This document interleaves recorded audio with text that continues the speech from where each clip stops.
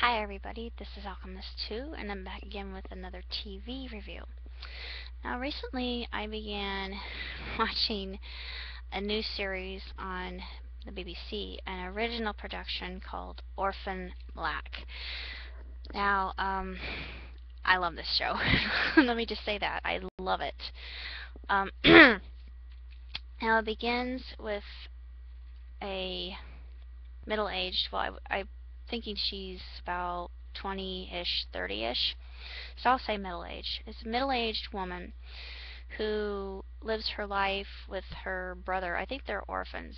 That's part of the, the title itself. But they live on the streets. They're kind of urchins. And he, uh, her brother Felix, is a drug pusher. I just love him because he reminds me of Vivian from um, the young ones. I'm not sure why, but he's so much like Vivian. Um, just, I, I love him for that reason alone. Um, uh, plus he's super hot, and I just love to hear him talk because it's a Cockney accent, and it's just, I think it's so cool. Um, he thinks he's in charge of everything. He thinks he's kind of a big big, but he really isn't. There are a lot of people who threaten him and um, they do a lot of they rough Felix up quite a bit, and I feel sorry for the guy, but you know he brings it upon himself. Unfortunately, that's another thing. Uh, sometimes I think that he says things that allow him to get himself into situations that end in violence, basically. So he is a self-fulfilling prophecy, but he's still just a great character and I, I just think he oozes um, charm and sophistication despite the fact that he curses like a sailor. Uh, Sarah is very much like her brother and she does drug runs for, for him.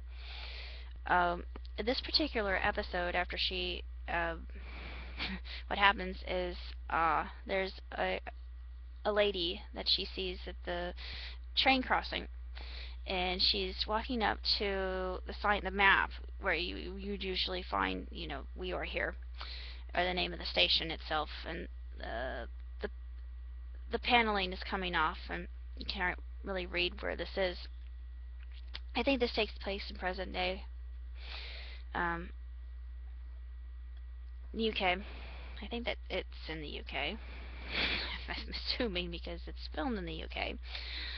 But this woman, she she takes off her shoes and she takes off her coat and she folds her coat and she puts it down over her shoes. And then she walks over to the railing next to um the the train where the train would be coming and she walks right on in front of the train and, and kills herself. And of course Sarah is completely shocked by this. She's appalled. She is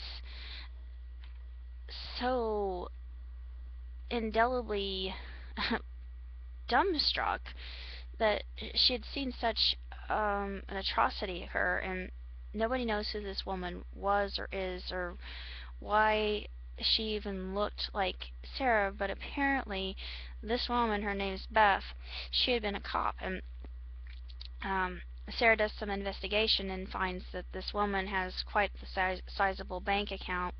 And of course, she watches um, Beth's home videos made by uh, Beth's boyfriend and starts to speak the way that she would speak and wear the clothes that she would wear. But of course, you know, the boyfriend kind of suspects that it's not Beth he's speaking to. He asks her about her court hearing and uh, she says, "Is Beth, well, I I, I choked and I flaked out on it and you know it's not really true. She just she just lied and she was ad-libbing the whole time. Um, it's a very unique dark series and it makes you think and uh, we don't really know why this is all happening yet. Uh, but we do have reason to suspect that there are those who think that uh, the woman who died um, they know, there are some people who know it was not Sarah.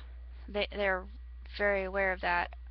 Um, and there was another woman who appears later on who looks exactly like Sarah as well, who has a German accent, and um, she needs her help. Of course, she was um, thinking that Sarah was Beth, and then she realizes it's not Beth, and she gets shot through the head.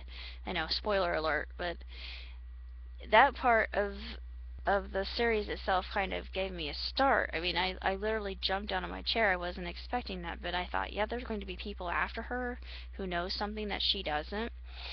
But um, there really is no explanation as to why this is yet. Then that's what makes the series that much more interesting. But it's going to get more intriguing as time goes on, I think. So I really like the series. I think that all the actors and actresses involved in it are just terrific. It's um, one of those mind benders that will get your mind uh, worrying and clicking and thinking, what if this sort of thing happened, and what would the purpose in it be? Why would this? Why uh, would whoever's doing this do such a thing? What would be the the benefit of it all? Uh, how would the person going through it feel? What would, what would their initial reaction be? Um, those sorts of questions are the things that, that come up, I, I think. Um, I really enjoy the series so far. There are going to be new episodes every um, weekend, I do believe. So I will be doing those reviews as well.